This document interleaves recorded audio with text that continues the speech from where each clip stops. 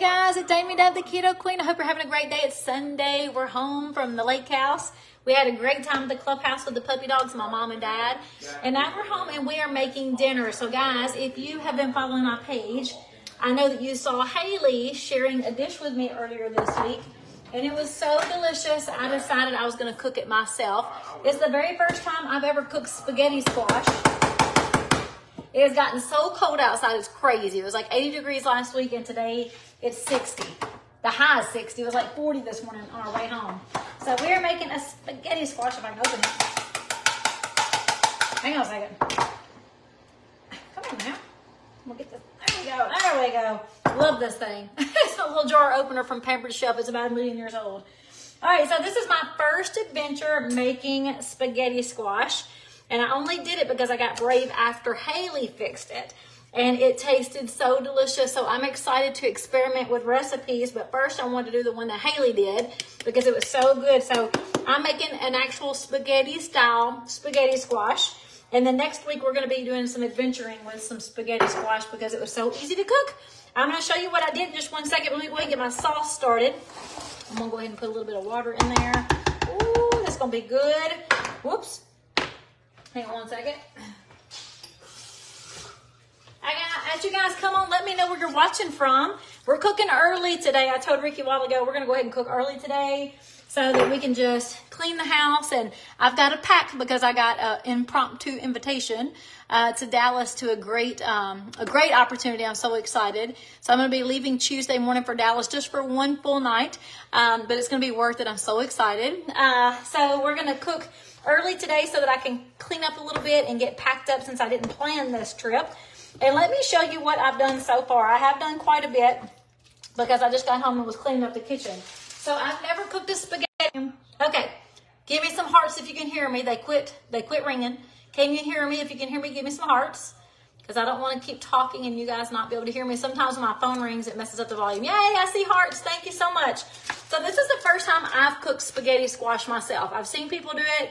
The reason I hadn't done it before is because it takes so long, or it felt like it took so long. But today I, I prepared this and then I was working on some recipe blog. I was putting some more recipes in my recipe blog and the timer went off. I'm like, oh my God, has it been 40 minutes already? So it cooked really, really fast. So what I did is I took Haley's advice. I did it like Haley did. I took my whole squash and I poked holes in it with a fork. I put it in the microwave for five minutes and then I cut it in half. The hardest part of this was cutting this thing in half. It was pretty hard because it was a big one. So I cut it in half and then I just put it cut side down like this into the oven. That's all I did. Cut side down just like this and I put it in the oven on 350 for 40 minutes. As soon as it come out, it was hot. And all I did was take, I thought it was to be hard, y'all. It's really not hard at all. I literally took my fork and just started do, digging the inside. I mean, you don't even have to dig. You just barely touch it. And it comes out into this beautiful noodle. So they're completely empty. It literally it literally corded out all the way to the to the shell. I mean, this is like a flimsy shell now because you took all of the vegetable outside. Now, I told Ricky you actually could use these to make your dish. Like you wouldn't have to take it out, but I did because I want to put mine in the oven.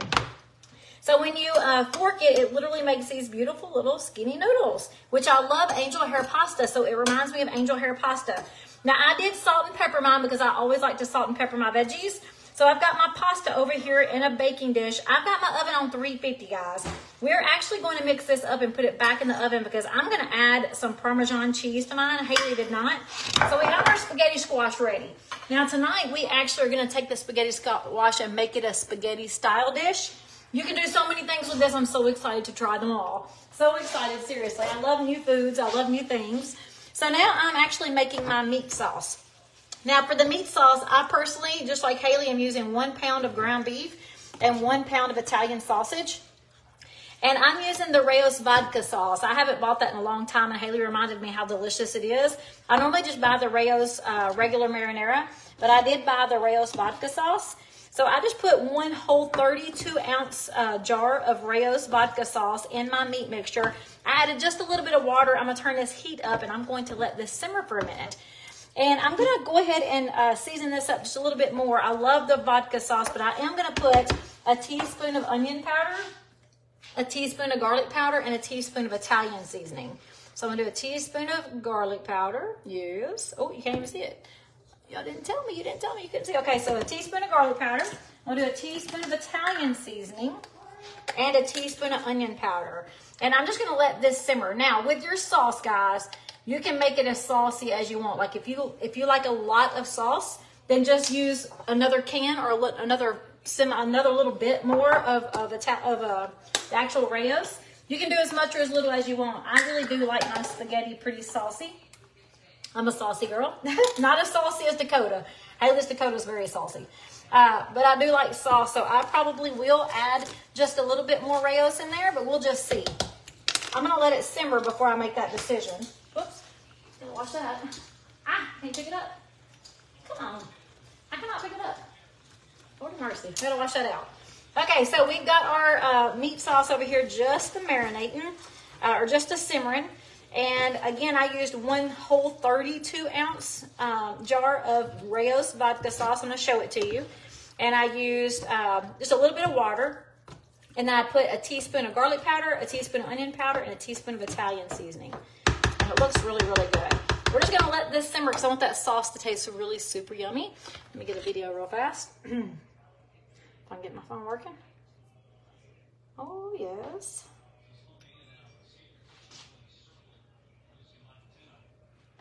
And then what we're going to do after this simmers is we're going to pour it right over top of our spaghetti squash. If you want to mix it up, you can, or you can just make layers. I love to layer up spaghetti. And this is the Rao's vodka sauce. Let me turn this around. Now the Rao's vodka sauce has one extra carb than the regular Rao's marinara. This one has six net carbs and a half a cup instead of five. So when you look at it, it's got seven carbs.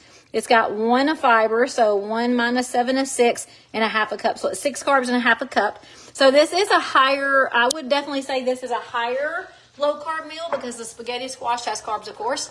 And then this Rao's has all the carbs as well. But it's okay. This is my one meal a day. And I told Ricky we're going to go ahead and cook early so we can have like a like a, a lupper. we're having a lupper where it's between lunch and supper.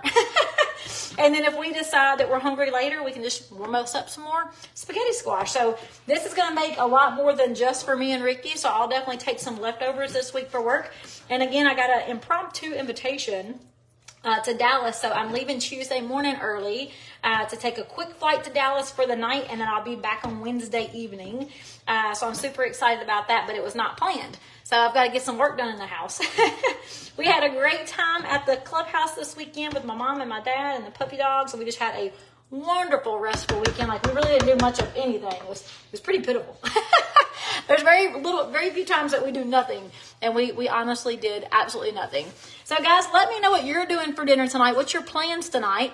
I also bought me and Ricky some blueberries. I'm to make a lemon blueberry shuffle for dessert later. So, I'm just feeling like cooking for Ricky. I don't know why, but um, he likes lemons and he loves blueberries. So, we're to make a lemon blueberry shuffle that he is going to love. The lemon shuffle is actually in the blog already, but I'm to take the blueberries and just, uh, I'm to squeeze a little bit of lemon juice and a little bit of swerve confection and uh, stir that up in the blueberries so it'll coat them with like a little sugar coating. And then I'm gonna put that over the lemon shuffle. It's gonna be delicious. Um, oh, I'm telling you, it was hard to cut open, Andrea. I thought I was gonna have to get Ricky uh, to come and do it for me, but I finally got it to cut. I just started cutting around the edge and just literally picked it up and cut all the way. It finally popped open, but I thought I was gonna have to get Ricky into in here to do it for me. Um, Oh, let's see. I'm turning this down some. It's going to cook fast. Uh, do you scrape out the seeds? Yes. I forgot about that part, Barbara. So when you cut it open, hey, mom, mom, hey, mom. She's going to try to get her points built up. We found out this weekend when she went to her Facebook page, it, she got a notification that she had 24 points from the Keto Queen. I was like, points? I didn't give you any points. So we pulled it up and it was telling us how to learn how to earn points. So it's too funny. So thank you, mom, for sharing. I love you. um, but yes, after you pop it open, you do want to just take a spoon and just scrape out. It kind of looks like pumpkin seeds. So you'll take out the pumpkin seed. Uh, I'm calling it pumpkin seeds. You'll take out the seedy center just like a pumpkin. So you'll scrape out the seeds. And then, like I said, uh, put it in the, the oven on. I put mine on 350 for about 40 minutes. And I'm telling you, it was hot when it come out. But it was so easy to get your noodles Guys, this is looking so yummy. I actually think I'm gonna go ahead and stop at this point. I do have some Parmesan cheese though, so what I'm gonna do is pour this on top of my noodles over here, my spaghetti squash, and I'm gonna top it off with just a little bit of Parmesan cheese, and I might actually even put just a little bit of mozzarella cheese. You don't have to do any cheese at all, but I do love Parmesan cheese over my spaghetti. Uh, my mom makes the best spaghetti in the world, but it's not keto friendly at all. Uh, I think I might could possibly recreate it a little bit, mom, with spaghetti squash and use sugar-free ketchup. My mom loves ketchup in her uh, uh, spaghetti sauce, and I'm telling you, it's really, really good. But the way she does it is not keto friendly, so I would have to uh, figure out a variation. But that's what I love to do. I love to take recipes and make them my own and make them low carb or keto. All right, guys, that's it. I mean, this is so super easy. We're literally going to take this sauce, pour it over the spaghetti squash, top it off with a little Parmesan, put it in the oven for about five minutes. We're good to go. I mean, fast, easy, delicious. Now, this did take 40 minutes to cook the spaghetti squash, but I was working in the kitchen. I was actually working on the recipe blog, so 40 minutes flew by just like that. I think I probably will always do spaghetti squash either on Sundays uh, when I'm working in the house or in the afternoons when I get home from work. I could always walk in the backyard while this is cooking and then throw our dinner together. Uh, but I like to cook and get my kitchen cleaned up really quickly during the week during the weekdays. Uh, just because we have to get to bed for the next work day. So I usually don't cook anything in the kitchen that takes more than 30 minutes cook, clean, eat, and all. so this did take a little longer just because I had to wait on the spaghetti squash. All right, guys, this is smelling delicious. It looks amazing. We're fixing to throw this together and then I'm going to um, start cleaning up. So guys, have an awesome evening. If I can help you with anything, just send me a message. And if you need getting started tips, guys, if you're brand new to keto, this is the first time I'm, I'm adventuring out in five full years with a spaghetti squash, but I've been eating low carb keto for five years. I have tons of great recipes. Hey, Miss Kay, how are you doing, Miss Kay? I heard from your daughter today. I hope you're doing really well. Uh, let me show you this jar again. Miss Kay is asking to look at this Rao's. So here is the Rao's that I'm using. It's actually the vodka sauce Rao's that Haley recommended I try with this.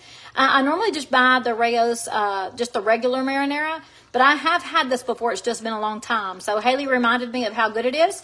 So we're using this today with our spaghetti sauce. Um, and y'all can take a picture of it real quick. All right, awesome. All right, guys, I'm gonna get off here and mix it together. All I'm gonna do is pour this on top of this, shred some uh, uh, Parmesan cheese over the top, put it in the um, oven to let that cheese melt. My daughter said you can air fry squash after opening for 20.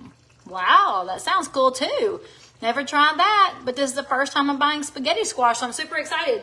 Carol, the spaghetti squash. Oh, she said she's getting some at the store. Well, look, this is the first time I've even seen it at the store because I've never tried to salt after it. I've never tried to look for spaghetti squash. I just always heard it takes so long to cook. I just wasn't interested. A shame on me because Haley is delicious. Haley made it and it was just so delicious. So I'm excited for Ricky to have it. All right, guys, I'm going to jump off. I will talk to all of you guys later. Have a great night and let me know if I can help you. Bye.